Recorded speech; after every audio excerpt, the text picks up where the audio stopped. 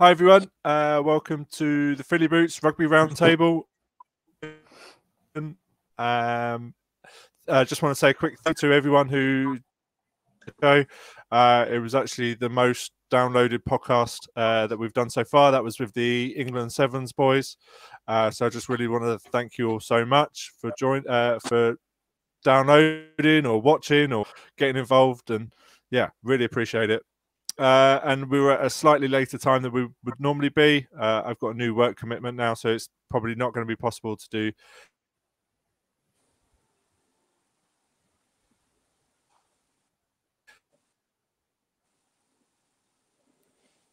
more. Um, so every other week, um, purely because I, it's uh, it's just taken a little bit more time. Uh, but anyway, you don't need to hear about you don't need to know about me. Um, today we're going to be talking about uh, the grassroots rugby scene in Wales. Uh, we did this with um, Scotland a few weeks ago, and it was brilliant. Uh, so now it's time um, for the for the people like said to get their uh, chance to have a chat and have a rant about what the situation is and uh, all things rugby uh, in Wales. So first of all, I'd like to welcome uh, Robert Rees from the Last Word on Rugby, uh, a brilliant rugby journalist. Um, and we've got Ryan Bath uh, coming on for his second appearance from uh, Fall Bay Rugby Club. nice to see you, gents. Thanks for joining us. Cheers for having us on, Sean. Cheers. Uh, no, it's an absolute pleasure. Absolute pleasure. This should be a fun one. And if you want to get involved, um, put uh, leave some comments in the comments bit. Uh, we'll pull them up and we'll chat through them as we go. Um, don't be shy. It's uh, it's your show just as much as it's you know we're talking. Um, please get involved. Uh, so I um, honestly, I'm going to play dumb a little bit. I don't necessarily know too much about the structure of grassroots rugby in Wales. Uh, so, Robert, how about you give us a little bit of a, a, a rundown? Um, yeah, um, ultimately, if we start sort of at the top, what's below the professional level is the Premiership. This is basically what a lot of people growing up pre uh, pre two thousand would have recognised as the top clubs. You know, your Bridgends, Aberavons, your Neaths teams like that that's what that's the top level now at the grassroots game. But ultimately, but ultimately that they are always semi-professional. So that's just above the championship, which is where it truly goes into the grassroots. You have a blend of the semi-professional finally mixing in with amateur teams. Obviously, there's you know a well-known secret in Wales that's um, kind of a lot of teams are supposedly amateur, but a lot of them sort of pay, but you can't prove teams who do and teams who can't. But beneath the championship, it gets sort of into sort of a bit more regional because you got sort of you got your div you got your divisions in the east, which basically work its way down. You got the divisions in the west, and there's also divisions up the north. Basically, it's to stop the the clubs lower down basically effectively traveling, especially the clubs up north. They don't ever seem to come down other than RGC, who are being placed into the, the Premiership as they are now after working their way up. But basically, you can work your way in. So the Wests and the Easts build up through there because there's a few divisions in the East, there's a few divisions in the West. They basically build their way up to the top ones there, end up going into the Championship, and that's where ultimately they all meet together in in basically what sort of the, the blend of the best from around the country in the top two divisions. But um, yeah, that's basically the the senior level of the game summed up probably in a, a simplistic format, I guess.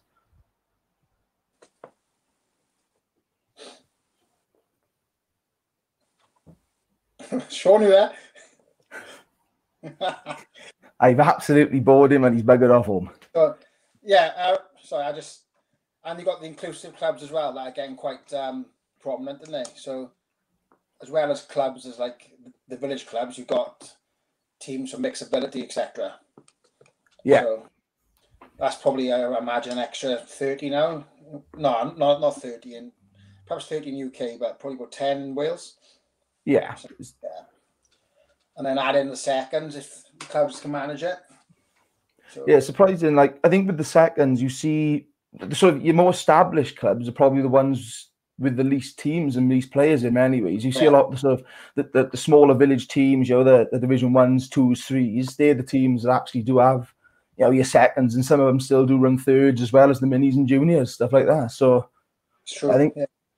I think the further you go down, I think in many respects, the top few divisions at times have come apart from the community aspect of it. Whereas, you know, your actual core grassroots clubs, which are in Division Ones, Twos, Three Easts, and, and your Wests, and up north, they, they still run several teams, women's teams as well. I, it was great to see the women's and obviously the girls clusters popping up around now. I think it's great to see more, more of that being being pushed, sort of, especially in the forefront of the modern game. Agree. How many women's teams are there? Sorry, I lost my connection for a second. Uh, How, how many women's teams are, uh, are in Wales?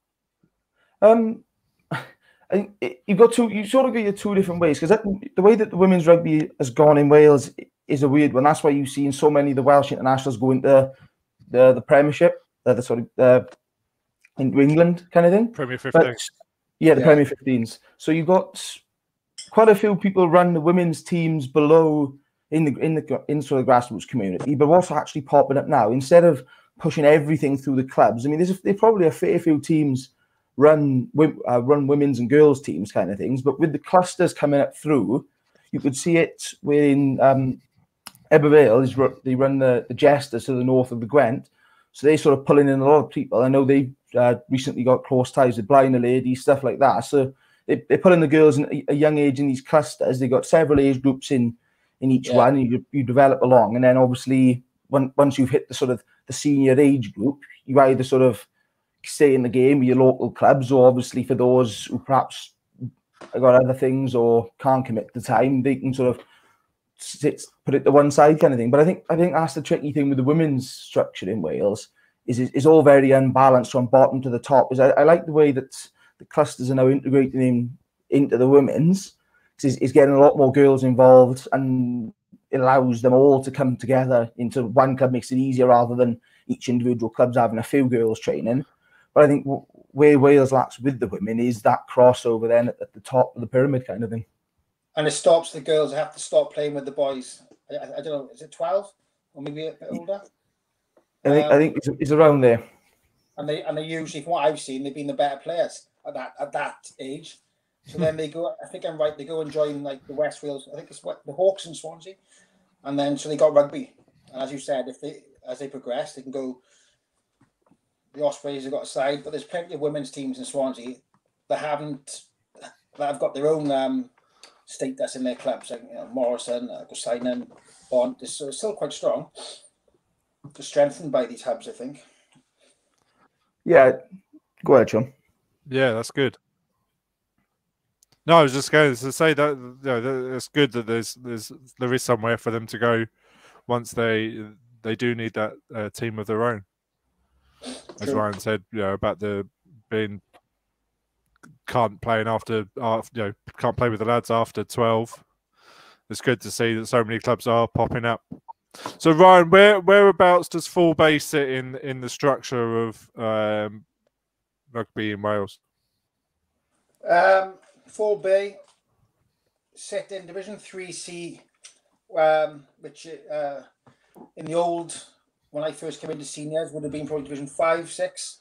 Um, uh, but progressing, we well, when it does start back, we will be aiming to, to climb. Um, we got a seconds team, which we formed, which is quite you know, which is good, obviously. Um, mainly made up of Yeah, yeah, veterans. definitely. seconds vets, um, barbarians, whatever you want to call them, and um, that yeah. So it's um, the lower level of the men's game. Well, not lower level, just a Division Three C. So and then you've got three A, uh, sorry, three B, three A, Division Two, then Division One, and then as Rob said, you've got the semi-pro, then the championships, and there's a lot of amateur players in that anyway, and then um, the Prem, and then the regions. So down there, but still one of the best. on their way up. So go on, tell us a little bit about uh, You spoke uh, a- a few weeks ago on a, on a show, but uh, give us sort of a quick, brief history and where you are and where you're going to be. Yeah, the history like is. Um, I've only been there coaching there for um, well, just over a year now, but um, it's such a new history, so it's been quite simple to pick up pretty much all, all of their history because they were formed 25 years ago by um, friends that lived in the Gower. They wanted um, a club closer to them. They started playing rugby. I, I could be wrong here, but I think I'm right. They started playing touch rugby on Fall Bay, um, the beach, the bay, and they it went from there. So then they had a they found a pitch in the South Gower Sports Club, and they played friendlies for a while. Um, they recruited quite strongly, I think, from because it's plenty of you know, farmers and players in the Gower, and then it took them a couple of years to get league status. I think they started off as a district team, and then they got into the leagues. Then that's where they would have started in Division Six or Seven, but with, with the league structure, instead of instead of keeping one, two, three, four, five, six, seven, they decided to change it to three A, three, you know, three B, three C, etc. So um, yeah, in a lovely part of Swansea, I have to be honest, down in the Gower, can't fault there. Sounds good. Sounds good. Sounds like I'm looking for players, isn't it? Recruiting. That's all right. That's what we're here all for. Right. That's what yeah. we're here for. No. So where do you want to be? Where do you think okay. you can be? Goal in the next yeah, well, what's the goal in the next year or so? If we can get rugby back on, say we can get rugby back, back on. What is the um, what is the goal? The goal is, um, I'll say promotion now. Uh, yeah, we we got to aim for it. Um, from what I can see, we train as hard and as prepared as anyone around us. We train twice a week. A lot of teams, and this has been since we allowed back with COVID as well, with no games to aim for. We still getting 15, 16, 17, 18 boys out twice a week. Um, so it's all in That's place. Good. The club looked after the players fantastically. So there's no reason really why we can't be pushing. No, we should be because we set up good enough and the players want it enough to be to climb the leagues. And with the junior section the club's got in place, these children that are well coached now deserve to be playing the highest level they can with their village club, not leave to one of the other clubs around us who are in Division Two and One. Um, it'd be nice to keep them where they can get the level they want, but, but without without leaving their home club. That's the goal. Definitely, definitely sounds great. Uh, and so, what is the what is the sort of the gameplay situation at the moment? I know that there's some parts of Wales in lockdown and uh, things like that, but what is the sort of what are you allowed to do? What aren't you allowed to do? Um, what guidance have you been given from WRU? Well, well, we've been given. In fact, let's start with Robert. If we can, Robert, if we can, um, sorry, if we can, um, tell us what the sort of the roadmap is and what it where it is at the moment, and then Ryan will come to you, and you can tell us what you can and can't do. And uh, I've seen your tweet, so you can have you can have your rant. yeah. So um, basically the, the roadmap started out just like anywhere else in terms of rugby. It, it progressed through. You couldn't train at all right at the you know, right through the start of the summer. You know, it's through you could actually start to meet up and do uh, limited group training, but non-contact stuff like that. But uh, recently, as you say, Wales have gone into local lockdown, so each county borough is sort of shutting down, and the WRU decided that they would against the Welsh government said you could remain training in smaller groups with with the limited uh, contact, no contact stuff like that. But the Welsh Rugby Union decided that no, they was going to actually stop it completely across every county. That no one can actually go to train, and that was that. Then obviously back, think it was last week, if I'm right, Caerphilly County Borough was the first to be opened back up. And I think what a lot of clubs actually found confusing that weren't in, in that borough is why Caerphilly clubs were allowed to train, but they weren't. Because realistically, while some, uh, like say Blaenau Gwent, for example, were higher in, in terms of cases than that, there was a lot of counties that were a lot lower than Caerphilly that were still in lockdown. But gradually now there's a few more counties have been allowed. And I know, I think it was today that Blaenau Gwent clubs have been told that they're allowed to start resuming their limited contact and group numbers training.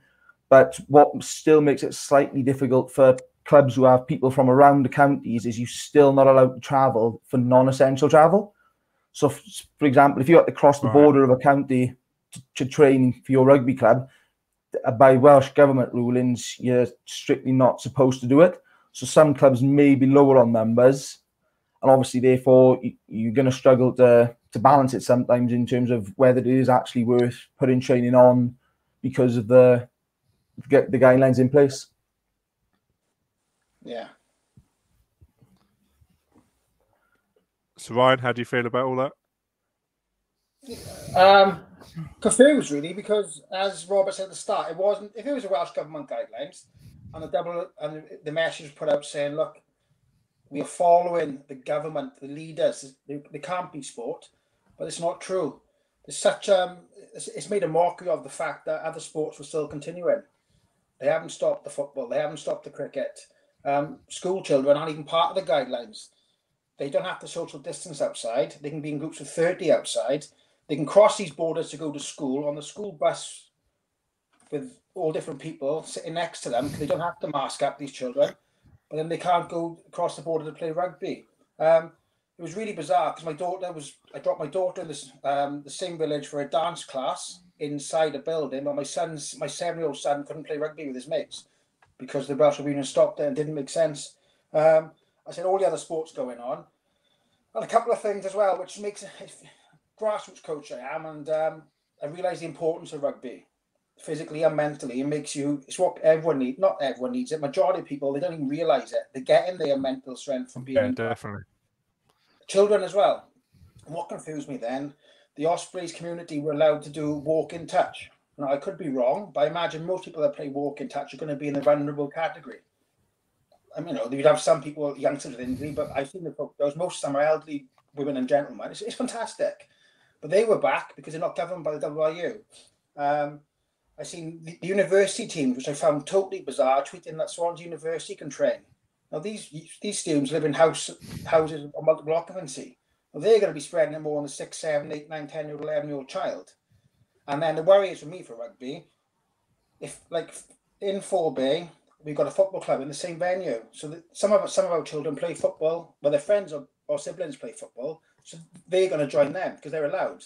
But they can't understand why can't they play their rugby on the same pitches really with the same same crowd because it's safe for the children and they've got all the measures in place. And then to see Caerphilly still in lockdown, but then they're allowed, it just seems really bizarre. I think. And it's a, it's a concern for the clubs that all, a lot of them are already struggling. The clubs that have, put, have been busting the gap before COVID have got a bit of time in the bank because they built up their strength, I suppose, and they're going to. But it, it, won't go on for long. Other sports will step in, and children will get bored, and children will get tartaned. The adults, yeah, they, you know, it's, it's a big yeah. picture, massive picture, especially the mental health. Yeah, definitely, and you've got mind on your uh, your jersey there, the charity mind. Yeah, on your jersey. Mind Cymru, tough talk. Um, a team set up for mental health. Another plug.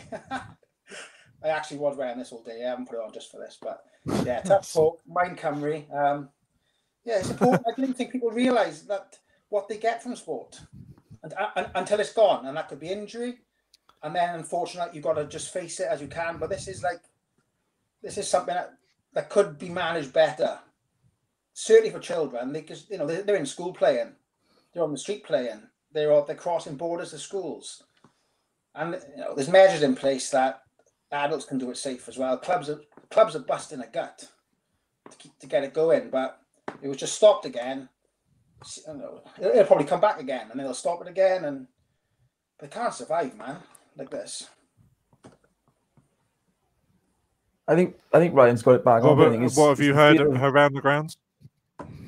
Um, I think it's a no, similar on, picture Robert, all around. You, you go. It is. It's a similar picture kind of thing all, all over. This kind of fo- football has taken over as a national sport, apart from on the weekends that Wales play.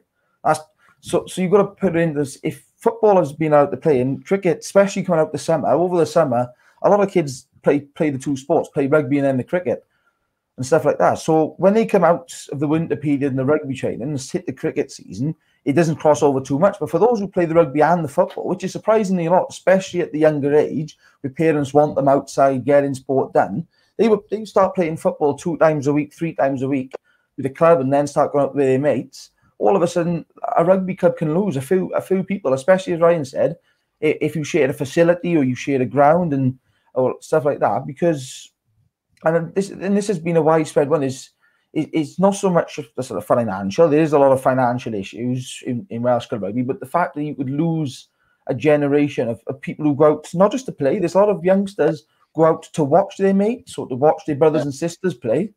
And you know it is you know you lose that whether it be on the field or off the field and you'll never regain you never regain the large chunk of those. You know we've like I said, you know, rugby was for years and years the, the national sport in Wales, and fo- football's overtaken that now. Whether people like to accept that point or not, football has overtaken it, especially with the rise of Cardiff and Swansea in, in the south. Of when especially when they hit the Premiership, you, have got a lot more people wearing f- football jerseys to rugby training than rugby jerseys to football training. And unless the WRU makes sure that these clubs can come back, then then you will. You'll start losing the youngsters now, and in and you will see it in 10, 5, 10 years' time when those youngsters would have been at senior level. That's a, a team that would typically have two teams, can only field one, or the, a team that may be only able to field one team at the moment is actually struggling to complete fixtures. And, and we see this right up through and even into the championship, where teams don't have enough senior players to actually complete fixture lists. And obviously, then that's where like points deductions and things come in. And obviously, that's not ultimately what anybody wants to see uh, for any club. No. I think is that's that's the thing is, is making sure that you, you keep the people in the game now at the young age so they're invested in it for years to come. Yeah, bang on. Yeah, and, well, and also the, uh, the the success of the the national football team as well is also doing well. You know, and they're playing England tonight, so all eyeballs are on that. um, because there isn't, know, there isn't a world. You know, there's no rugby to watch for a few Welsh rugby games to watch for a few weeks, and, if you're in on the edge of what you want to go and play, a, game like this evening, which kicks off in, in, a little while, yeah, you're gonna, you might be swayed. Especially, especially if they do one over on England, then you're going to be swayed even more, aren't you? So, yeah. it's you know it's it's going to be tough to to keep people in the game if there's just nothing to nothing to sort of keep them here, is there? Not really. Yeah, I think. So what I is the, what what can you do at the moment? What can if you know if you're not in a local lockdown, what training can you do? Go ahead, Ryan. Uh, yeah, Ryan. Yeah. We it was still. Um, oh, well, doesn't matter. Well, as a coach, the only equipment we could use was um, markers, cones, I think, and um, balls. Any. Uh, uh still, still, still, there's no contact in Wales yet. Um, no contact. Okay. And to be honest, I think you can have some fantastic sessions, and I think most coaches would agree. You've, yeah. you've done things differently, and you've learned a lot more about your player skill level. I certainly have, and um, I was quite excited then to be to link it into when we can get back to contact and excited again to games, even though it could be I, who knows three six next September. I've heard, um, but fortunately, like we still we still had boys training and they still seem to be enjoying. it. So training wise, it was just we haven't gone like um, we still haven't had like, we haven't called it preseason where boys have been smashing the cardio, smashing the, you know the conditioning. We still kept it fun because people at the end of the day they still haven't got a target of a, of a league, so still fun. It's still skills um, that's all we can do anyway. But we personally haven't even called it pre-season yet. We just called it well, just get together, I suppose, and made the most of it.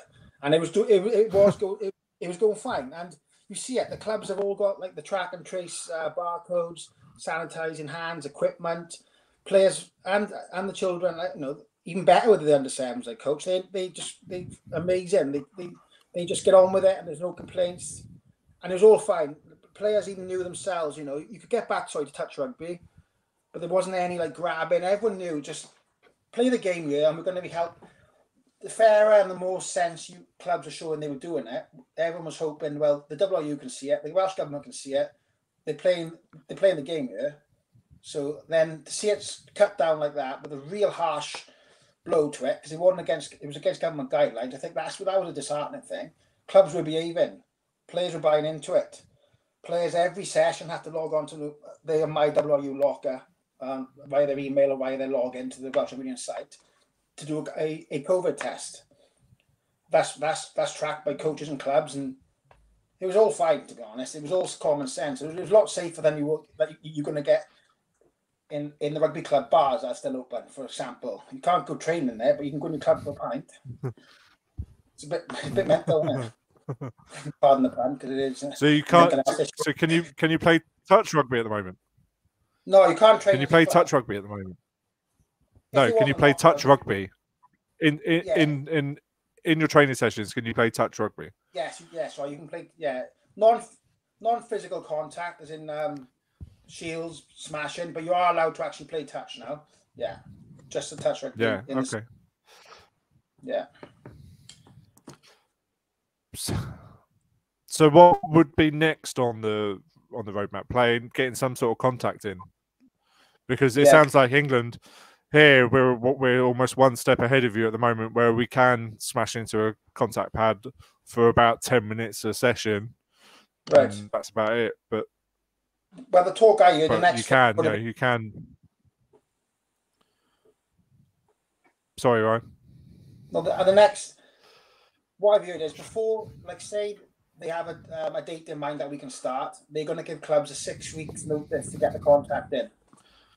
So that's Yeah. that's that, so we got to that's the next stage. I imagine they'll build that into contact on equipment, and then they'll go into player on player contact. But there's going to be a six weeks build up Yeah. to get the bodies used to it before we start playing friendlies.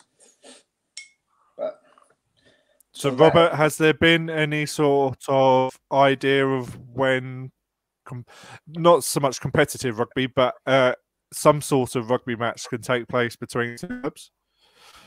Um, I think re- realistically now is from what I was hearing, he was he was always looking at late November, early December. But I think now everything is basically being pushed behind that. the earliest. You look in January of next year, as as in any sort of reasonable game of sort of fit or fixtures taking place.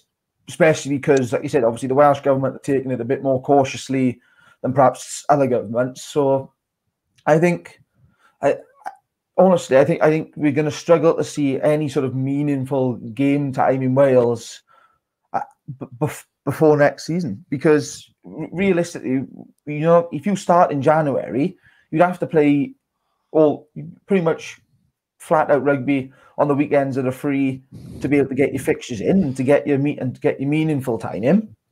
And I think you, players and coaches and that are mindful of this, and clubs are mindful of pushing into into cricket season and into the summer, if you want to put it like that, because you, you know people have got other other commitments once they hit that time of year. So and you don't want to be losing and dropping off players. It's different to the professional game where players are paid by that club to stay there and they train there. You know, at grassroots level, you know, club uh, players might go out and play cricket. They might go on holidays and stuff like that. And you know, so I think realistically, we- we're not looking at any full meaningful calendar ahead of next September, as Ryan alluded to earlier. I think we might see the odds localized games b- before then. I think we might see a few reaching in. I think you might see the top end of the grassroots pyramid starting back up before then, but purely on the basis that there's there's slightly more money at most of the clubs at the top to be able to sort of get the testing done more regularly and stuff like that. But I, I think that at the first stage at the moment is getting the Welsh Rugby Union on the same page as the Welsh government and making sure that every county can actually be doing stuff at the same at the same speed. Because otherwise, what you'll end up having is say Caerphilly open up a few weeks before another county, and all of a sudden the six weeks build up is are on the contact biggest part of a month before another team might be. And I think that's going to be the biggest problem going forward for a lot of young players is they're going to be out of sync with others. And you know, it's, it's, it's not always as easy to get fixtures with clubs within your area, especially if you are one of a few at a set tier eh, within your county. Yeah, we got that problem. The rumours are that um, after Christmas, they but you know it's before there's a league set up, there's going to be like um, a mini league or uh, mini friendlies around, and you play your local sides. Have you heard the Premiership and the Championship are going to combine, and the East teams and will will um, will play each other, and the West and North, whatever. So you know they are quite close to their level. I know the Championship might struggle against some Prems, but they'll battle it out and then um, same the further you go down, you play local. Like for Fall Bay in Division Three C, or uh, Swansea Uplands are Division Three A. You know that's not too far from us, and the rest are Division One. Penclawdd, Gown, Gorseinon and Dunvant. Those friendlies, you know, I, I will play them and we'll get something from it, even if it's just people on the pitch and we, you know, learn where we are. But it's not going to be. I don't know. It's uh, if you're making the best of something, but as as Robert said, I think the leagues will, uh, will be a year from now, and then that's 18 months of rugby gone. worse for the youngsters and worse for the old guys who are hanging on at the end, isn't it? like but but it's those different. It's, it's, those guys that are the difference between getting a 15 and not. So yeah. you want them to stick around. They oh, they, they might feel better after having 18 months off. 18 months off and 18 months off. They might need it. Yeah, no, I think they'll definitely need it, and I think there'll be a lot of um, players that stopped. You know, thinking they'll come back, and was always there. But once it was taken away from them, I, I think they thought, "God, I, I, do, I, I do miss this game," and they will come back.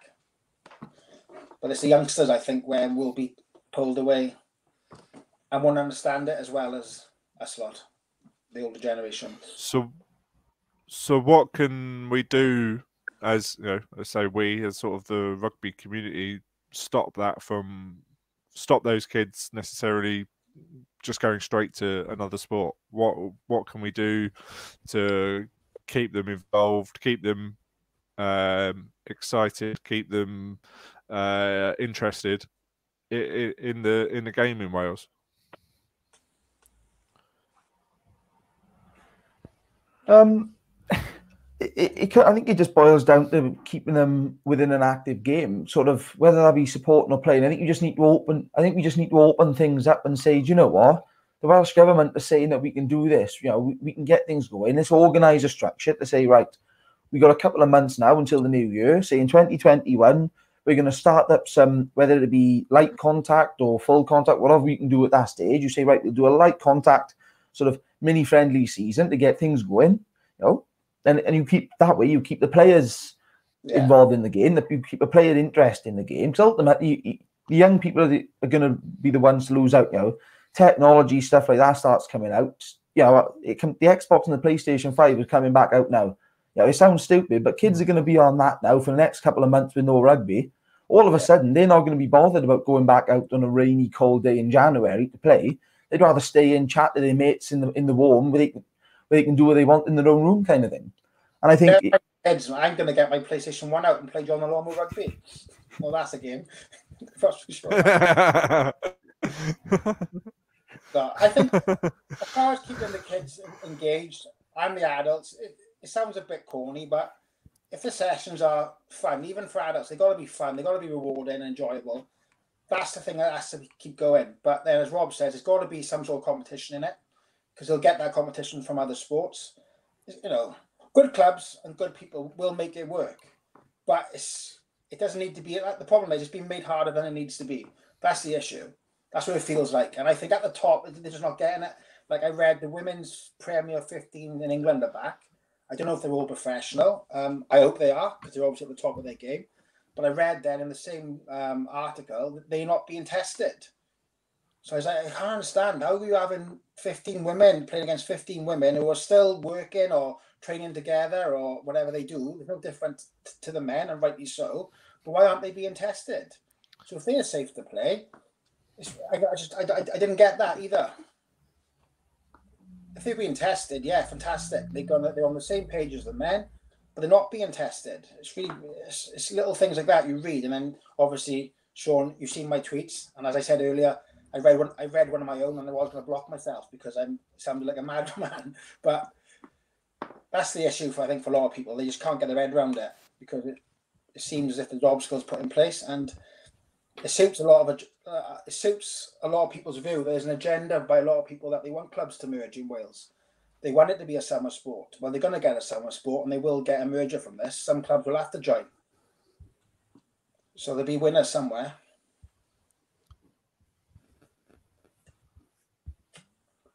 I think. Roberts, what's your view on that?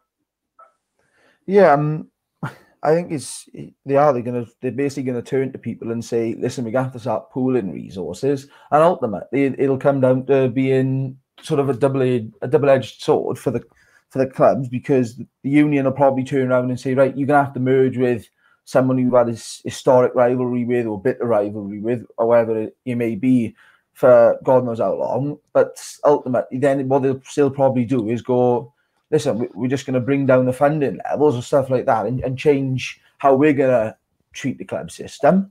I think what, what you've got to be careful of is if you do force or push clubs into these mergers, is there's, there's not enough clubs in each division as it is now. Clubs, clubs haven't got enough fixtures. You know, if you're playing 15 times a year, 16 times a year, that's that's not realistically enough for, for most clubs.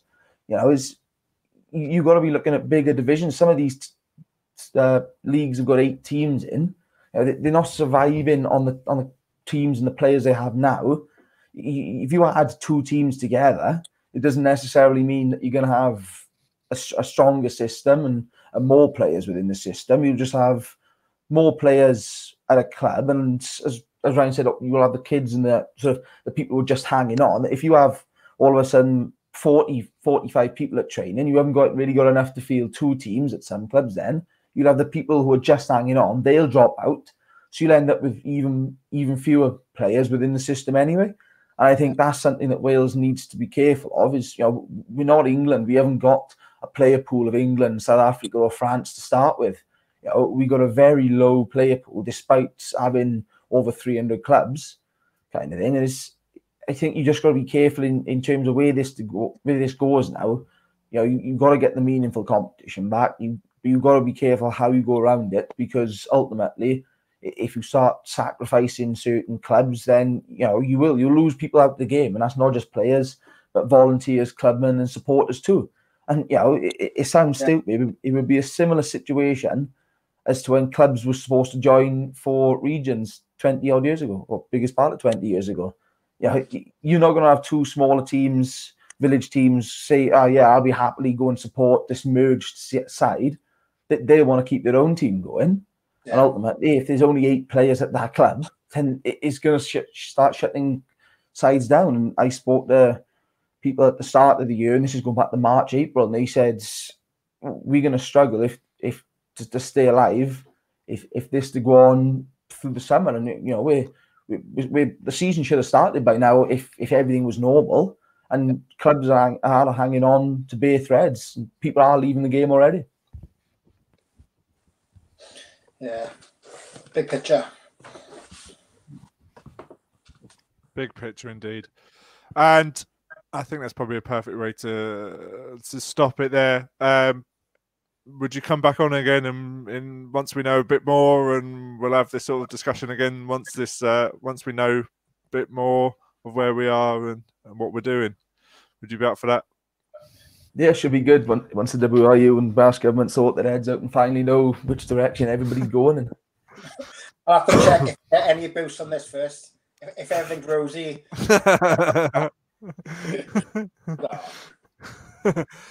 um, well, look, let's let's leave it there. That was absolutely brilliant. Um, I've learned a lot. Uh, I hope everyone watching or listening has too. Uh, we'll uh, we'll check back in in a few weeks' time once once things start moving and hopefully we get some rugby back on the pitch in Wales because uh, we all need it. We all want it. And yeah. so yeah, uh, so uh, thank you to Robert, thank you to Ryan, um, and uh, didn't plug them halfway through, but I will do now. Uh, thanks to Rugby Store uh, for supporting the show once again.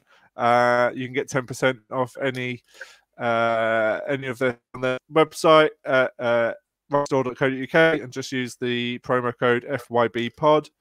Um, so yeah, thank you to them. Thank you to Robert. Thank you to Ryan. Thank you to everyone watching, and we'll uh, we'll see you again soon. Cheers. Cheers. Cheers, guys. Thank you.